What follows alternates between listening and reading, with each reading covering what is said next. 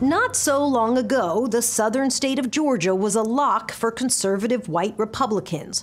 Georgia has seen plenty of change. It's now a majority minority state. Black voters are still the biggest segment of the minority electorate, but in tight races, every vote counts. It's looking viable as a true toss up. It, uh, the, the, the prediction markets and various polls all point to a razor thin finish. So, which voters could be key to clinching victory in this all important swing state? Our special correspondent, Joie Chen, takes us to Gwinnett County in Georgia. It's not that much of a stretch to say that somewhere in this Monday morning chair yoga crowd may be the voter whose ballot will help tip the scales this November. It might be 100 year old So Sung In. Everybody go to vote. That's the power for people. Or maybe 80 year old Koo Hong Ja. Her friends call her Happy. Is it important to vote?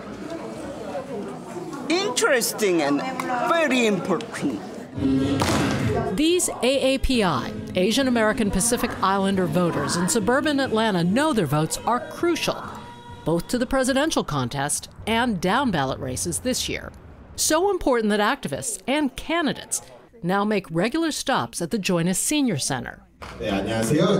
Korean American voting rights advocate James Woo is back for the second time in just a month.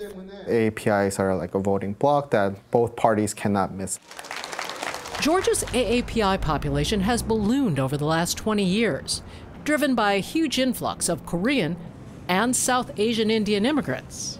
Many brought memories of repressive governments with them to their new lives as American citizens. They came to, from a country where they had to literally fight for democracy, right? Or they had to flee the country because there wasn't a, uh, like a true democracy in the country. So I think a lot of them really value the importance of making their voices heard.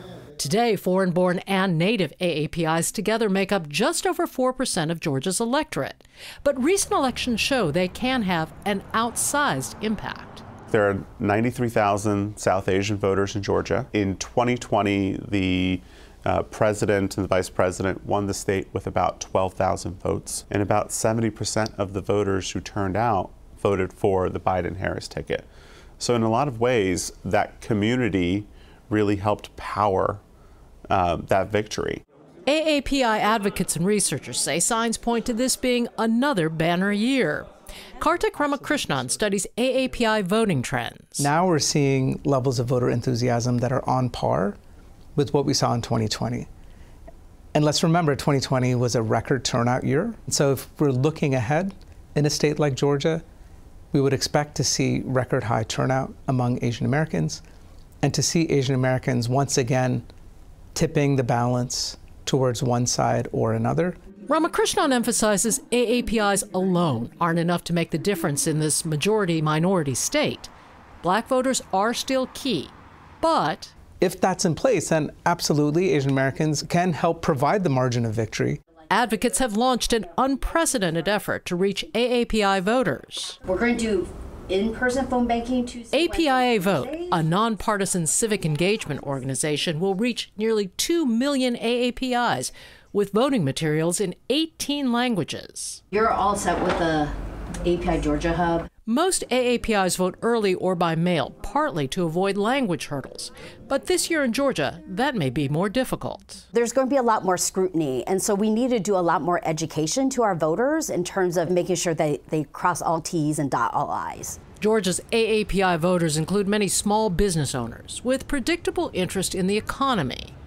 But since the Atlanta area health spa murders, polls find their number one concern is racism and anti Asian violence. What it means is that candidates who engage in racially divisive rhetoric are unlikely to earn the support of Asian American voters.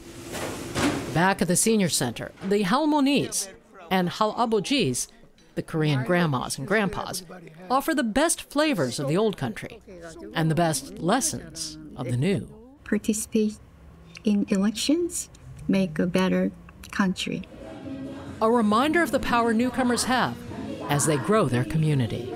In Norcross, Georgia, I'm Joie Chen for Matter of Fact.